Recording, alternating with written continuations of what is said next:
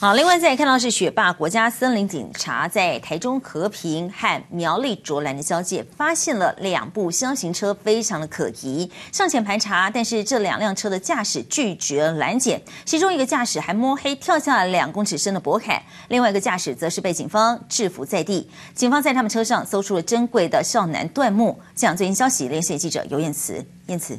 这直播观众透过画面，您可以看到，当时这个雪霸国家森林警察队的这个远景呢，正开着这个警车呢，不断的追赶前方的这两辆箱型车。但是这两辆箱型车呢，无论这个警车怎么鸣笛示警，他们就是不停车，因为他们这个车上呢是违法载运了一只珍贵的肖楠椴木，而且长达两公尺，直径六十六公分，在市价来说可以说是相当的珍贵。而警方调查呢，这个肖楠椴木呢，有可能是这个山老鼠集团所为。带您关心当时的搜索画面。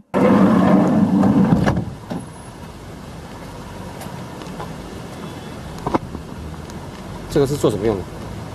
这个是拉树的啊，可以拉树啊，拉拉拉拉树用。